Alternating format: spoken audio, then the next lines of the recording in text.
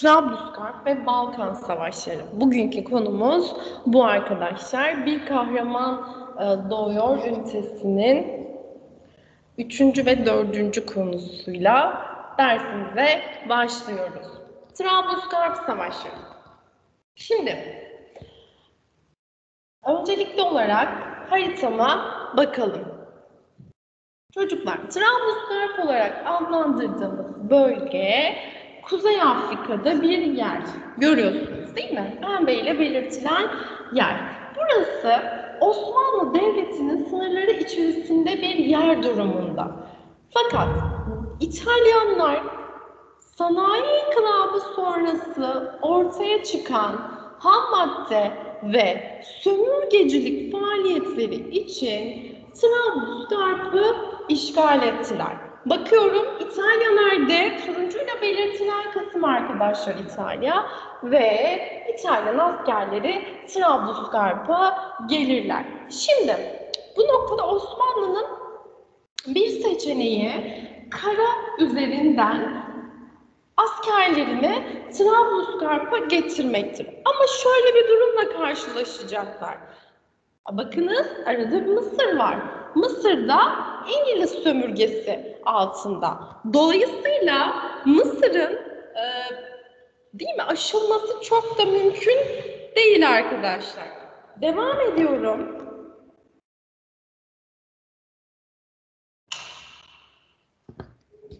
Peki denizden götürebilirler miydi? Evet belki de ama yeterli donanma olmadığı için e, Trablusgarp'a denizden de ulaşmak çok mümkün değil. Dolayısıyla Trablusgarp'ı e, işgaline ilk etapta seyirci kalıyoruz. Çünkü gücümüz orayı savunmaya yetmiyor. Bunun üzerine derhal Mustafa Kemal arkadaşlar bir grup subayla bölgeye gelir. Mustafa Kemal şu kodu kullanmıştır arkadaşlar. Gazeteci Mustafa Şerif kod adıyla ne yapar? Bölgeye gelir. Yapacakları olan şudur. Bölgede yerli halkı, e, Arap halkını işgalin yersizliğine karşı örgütlemektir arkadaşlar. Çalışmalarını e, gizli bir şekilde yönetmişlerdir ve şunu söyleyebilirim. Ee, Enver Paşa ile birlikte Derne, Bingazi ve Tobruk'ta başarılar elde etmiştir Mustafa Kemal.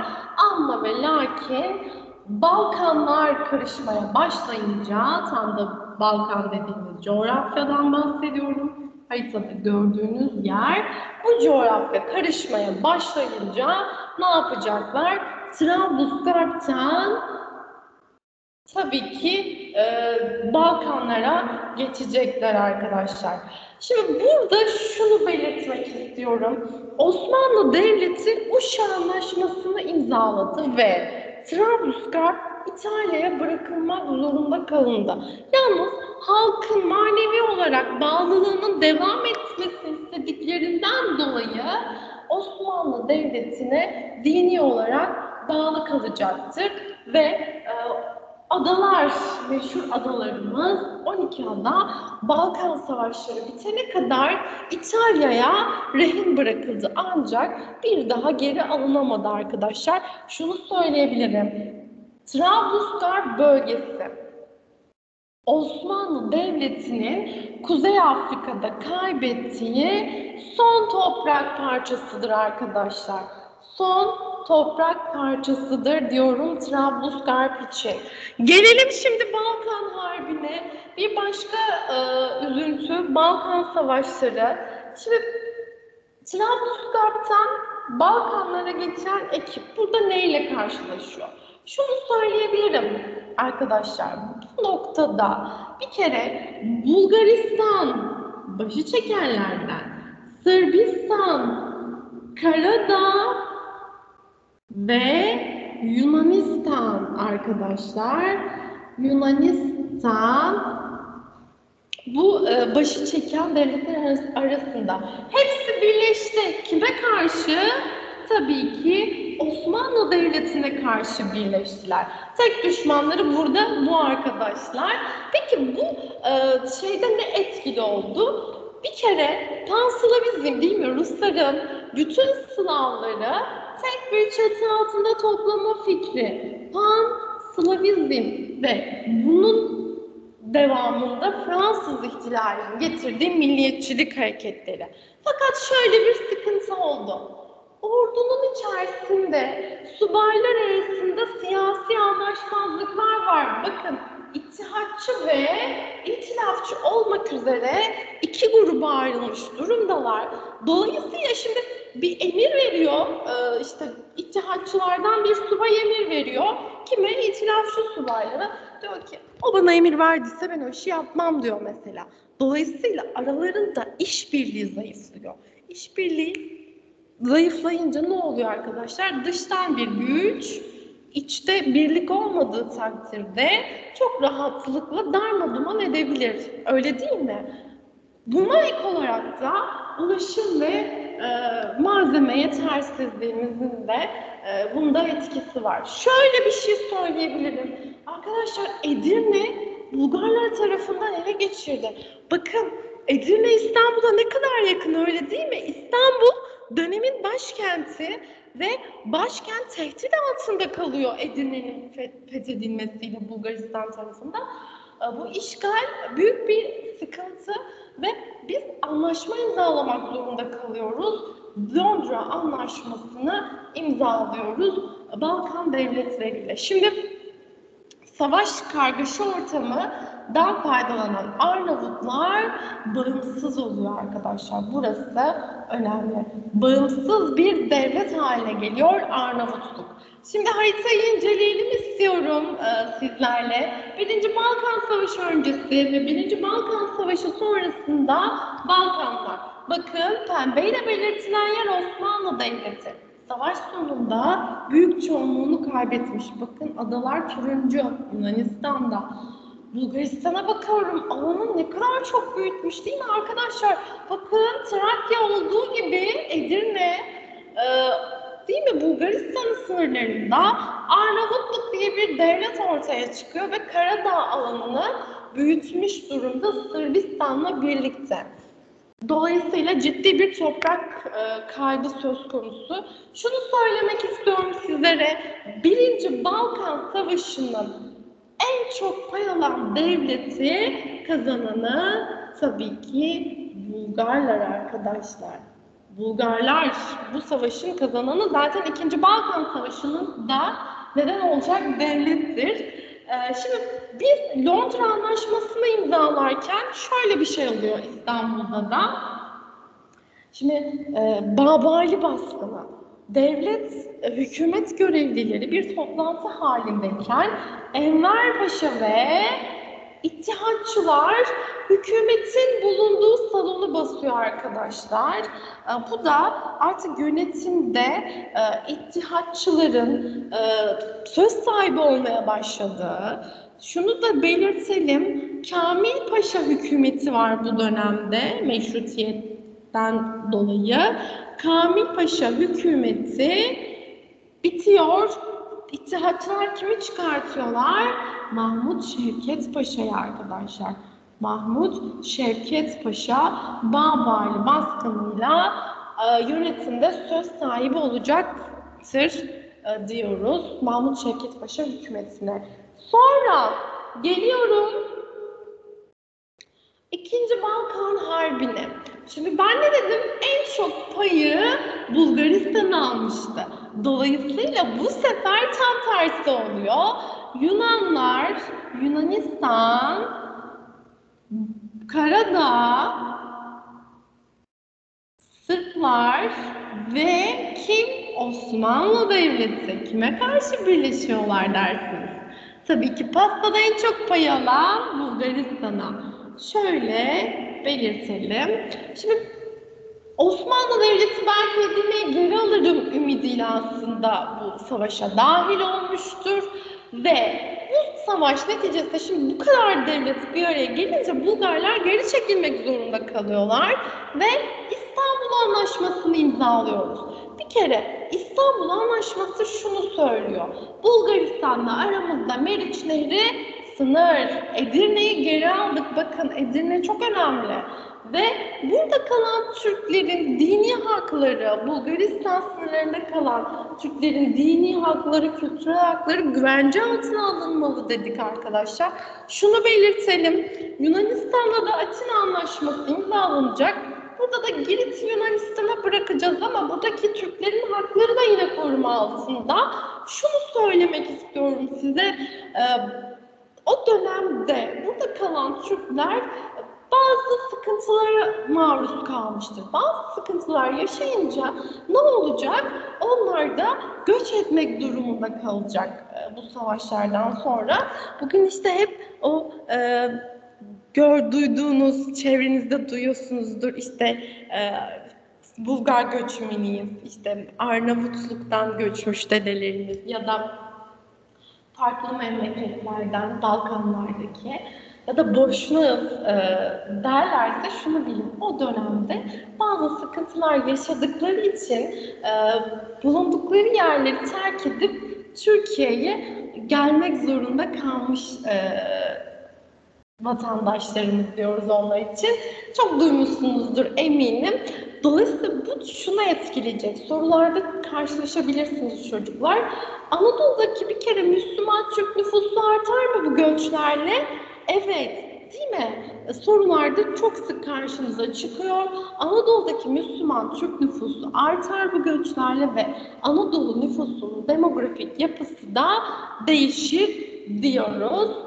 Ve şunu belirtelim, artık e, Balkanlardaki hakimiyet sona erdi ve e, diyebiliriz bununla ilgili. E, burada şu var, e, çok önemli. Birinci Balkan Savaşı'nda Mustafa Kemal Gelibolu Yarımadası'nda görev almıştır. Bu Çanakkale Savaşı'nda, Çanakkale cephesinde, Birinci Dünya Savaşı'nda ne olacak? Önceden görev aldığı için bir kere Çanakkale'de şöyle yazalım. Çanakkale'de bölgeyi önceden tanımasına neden olacak. Önceden tanımasına ve dolayısıyla bu savaş stratejilerini geliştirirken bu bölgeyi çok iyi tanıması bunda etkili olmuştur.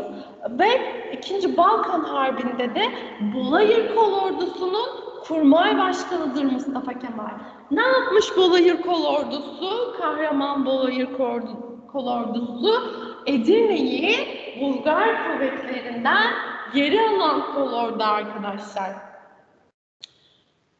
Ve dördüncü sorum, evet e, örnek dört. E, 2019 LGS sorusu Mustafa Kemal 31 Mart olayında sadece isyanın bastırılmasında değil, ordunun kurulması ve harekatın planlanmasında rol oynamıştır diyor. Diğer soru. Mondros Ateşkes Anlaşması'ndan sonra İstanbul'a gelmiş ve ülkeyi kurtarmak için arkadaşlarıyla toplantılar düzenlemiştir. Bu bilgilerden Mustafa Kemal'in kişilik özelliklerinden hangileri çıkarılabilir diyor arkadaşlar. Şimdi bakıyorum burada MEB'in çok sevdiği bir soru tarzıdır bu Milli Eğitim'in e, ve güzel de severim ben bu soruları. Şunu söyleyebiliriz arkadaşlar. E, şimdi isyanın bastırılması değil, ordunun harekatını planlaması. Burada hangi özelliği vardır? İlkinde teşkilatçılık öyle değil mi? Ve ülkeyi kurtarmak için toplantılar düzenleyen, arkadaşlarıyla görüşen, işte İstanbul'a gelen bir e, kişi hangi duyguya sahiptir sizce? Ülkesi için bu kadar çalışan kişi tabii ki vatansever. Öyle değil mi arkadaşlar? Yani cevabım A şıkkı olacak diyoruz. Şimdi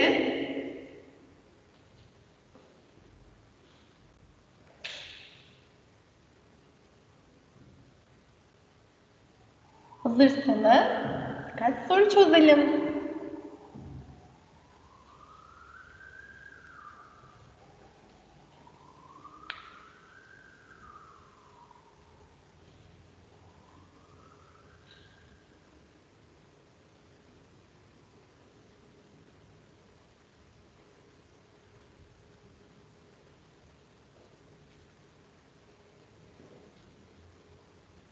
Evet,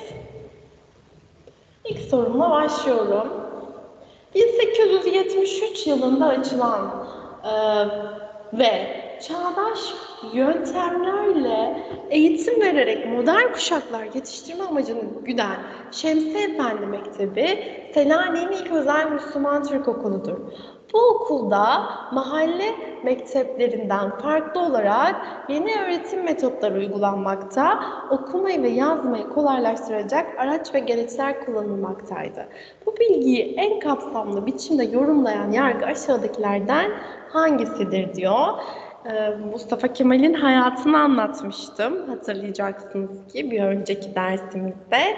Bununla ilgili bir tane soru. Bakalım şimdi. Ee, Atatürk'ün yetiştiği dönemde modern okullar daha yaygındır diyor. Ee, hayır, buna ulaşamayız. Öyle değil mi çocuklar? Evet. Çünkü burada hem geleneksel hem de e, aslında söylediğim bir şeyin paragrafını vermiş size. Geleneksel öğretime devam eden mektep ve medreseler kapatılmıştır diyor. Ee, evet, bu şey şöyle diyebiliriz. Yani soru işareti bırakalım. Okullar Müslüman ve gayrimüslim okulu şeklinde birbirinden ayrılmıştır diyor. Bunu söyleyebilir miyiz? Parantez bırakalım. Öyle değil mi? Bilmiyoruz çünkü. 19. yüzyıl Osmanlı'da Batı örneklerine göre kurulmuş okullar açılmıştır diyor. Şimdi 1873 yılında açılan e, çağdaş yöntemlerle eğitim vererek modern kuşaklar yetiştirme amacını güden Şemsi Efendi Mektebi Selanik'in ilk özel Müslüman Türk okuludur. Bu okulda mahalle mekteplerinden farklı olarak yeni öğretim metotları uygulanmakta, okumayı ve yazmayı kolaylaştıracak araç ve e, gereçler kullanılmaktaydı. Şimdi geleneksel öğretime devam eden mekteplerin kapatıldığını söyleyemem. Onunla ilgili bir şey söylemiyor. Ee, Batı örnek örneklerine göre kurulmuş okullar açılmıştır diyebilir miyim arkadaşlar? Ee, evet ama burada şunu e, kaçırmamam lazım ee, ve en kapsamlı dediği için arkadaşlar, şimdi diyeceksiniz ki nereden biliyoruz onun 19. yüzyıl olduğunu? Şuradan hemen size bir tarih hesaplama yapalım. 1873, öyle değil mi? Şimdi şunu söyleyebiliriz.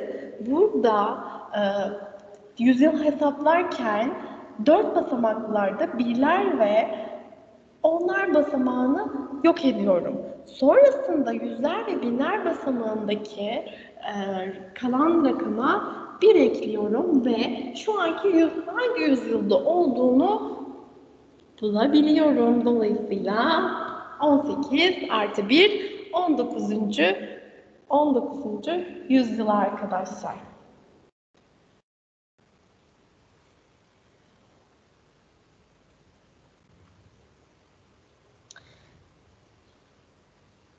Evet, ikinci sorumuza geçelim.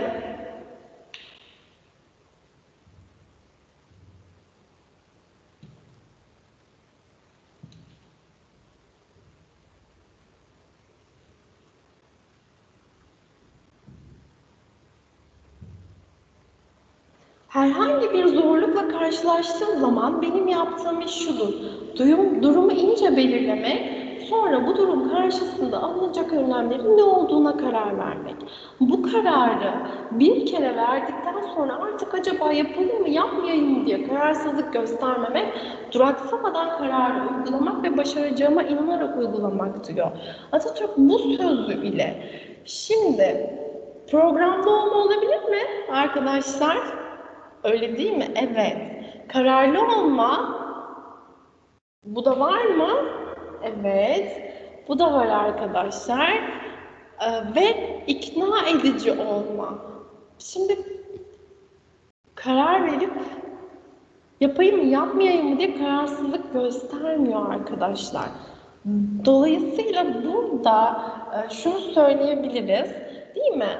İkna edici özelliğinden ziyade programlı ve kararlı olmanın e, Mustafa Kemal'deki durumundan bahsettiği için A şıkkı olacak. 1 ve 2. E, Devam ediyorum.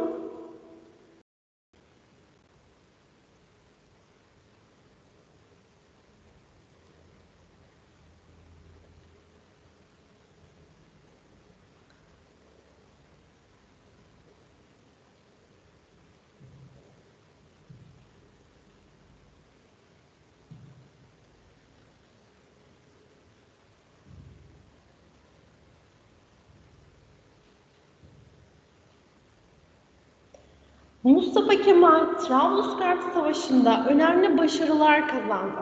Özellikle Derne ve Tobruk'ta o zamana göre ilk silahlara sahip İtalya'yı zor durumda bıraktı.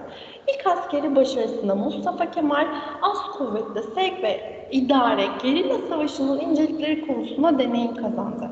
Buna göre Mustafa Kemal'in ilk savaş tecrübesini Trablusgarp'ta yaşadı, askeri stratejiler geliştirdi, güçlü bir devlete karşı başarılar kazandı.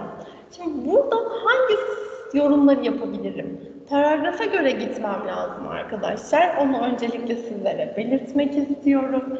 Şimdi önemli başarılar kazanıyor.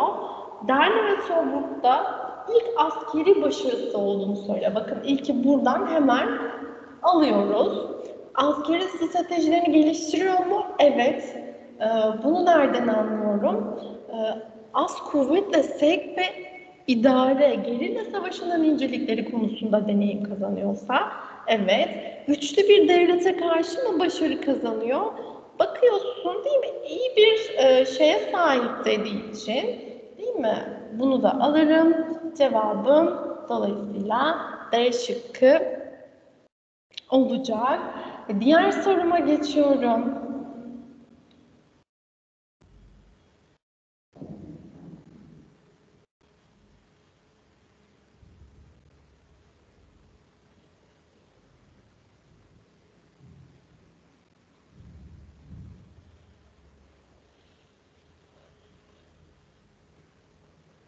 Birinci Balkan Savaşı'nda Mustafa Kemal Gelibolu Yarımadası'nda görev aldı.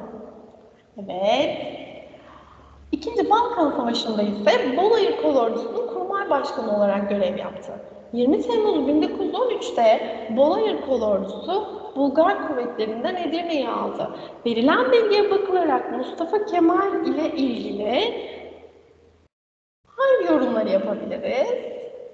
Vatan savunmasında görev aldı. Evet. Milli mücadeleden sonra modern Türkiye'nin temellerini attı. Yani buna ulaşamam öyle değil mi? Böyle bir şeyden bahsetmiyor. Ee, Avrupa'daki yenilikleri yakından takip etti. Şimdi burada arkadaşlar Mustafa Kemal'in e, diğer meziyetlerinden hani diğer yaptığı şeyleri de dair bir şey vermemiş. Burada sadece görev aldığı birinci Balkan ve ikinci Balkan Harbi'nde görev aldığı e, kol ordudan bahsediyor. Dolayısıyla ulaşmam gereken yalnız bir olacak.